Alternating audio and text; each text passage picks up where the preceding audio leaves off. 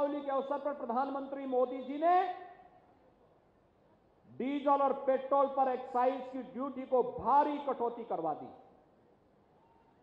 और प्रदेश सरकार ने सहयोग करते हुए साथ में कहा कि डीजल और पेट्रोल पे 12 12 रुपए हम लोग कटौती करेंगे। और भाइयों बहनों आज आपने देखा होगा कितनी राहत मिली है। डीजल और पेट्रोल के दाम घटाने से क्या राहत मिली है? भारतीय जनता पार्टी ये सोचती है कि कुछ पैसे कम कर दें तो जनता उनके साथ खड़ी हो जाएगी। समाजवादियों का मानना है कि अगर ये डीजल, पेट्रोल, ज़ीरो भी कर देंगे, तब भी उत्तर प्रदेश की जनता इन्हें सफाया कर करके इनकी गिनती हो सकता है, न जाने कहाँ पहुँचा दे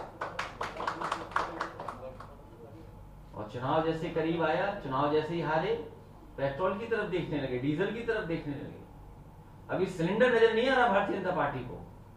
सोचो, लाल रंग का सिलेंडर भारतीय जनता पार्टी को नज़र नहीं आ रहा। उसकी कीमत कहाँ पहुँचा दी जिस समय डीजल पेट्रोल महँगा होता है, हर चीज़ महँगी हो जाती है। ये वही भारतीय जनता पार्टी के लोग जो दिल्ली में बैठ करके पाँच ट्रिलियन डॉलर की इकोनॉमी की बात कर रहे थे।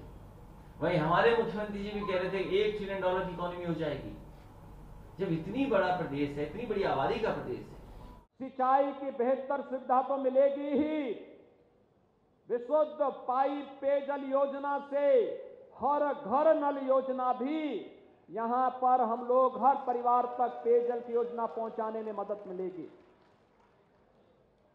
अब योजनाओं के लिए सिफारिश करने की आवश्यकता नहीं। विकास की योजना आपके गाँव और आपके घर तक आएगी। हमें उसके लिए तैयार रहना होगा। और आपने पिछली बार भारतीय जनता पार्टी को तीनों विधायक चुनाव जिता करके भेजे हैं। भेजे थे ना? सांसद भी आपने भेजा, मैं आपका अभिनंदन करता हूँ। इस बार फिर तैयार हैं? सभी लोग तैयार हैं?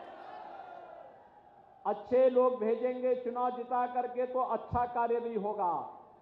और नहीं तो विपक्ष की सरकार होगी, आप देख रहे हो अभी से। उनके गठजोड़ किन लोगों से हो रहे हैं? वही भारतीय जनता पार्टी के लोग जो दिल्ली में बैठ करके पाँच ट्रिलियन डॉलर की इकोनॉमी की बात कर रहे थे।